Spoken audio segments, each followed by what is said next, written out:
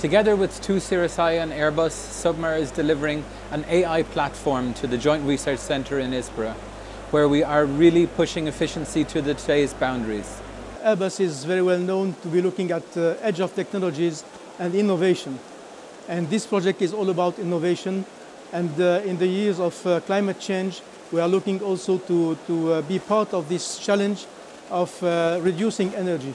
Um, we are European. This project is for Europe Commission. So it's uh, obvious that we have to be part of this game.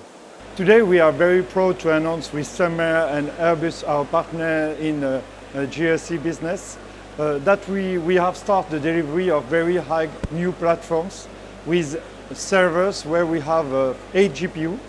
Uh, this AI platform is for uh, anti-crime uh, agency in Europe and it's true that our technology was, was chosen because we are uh, on the way to reduce the, the, the power usage of every computing today in the world.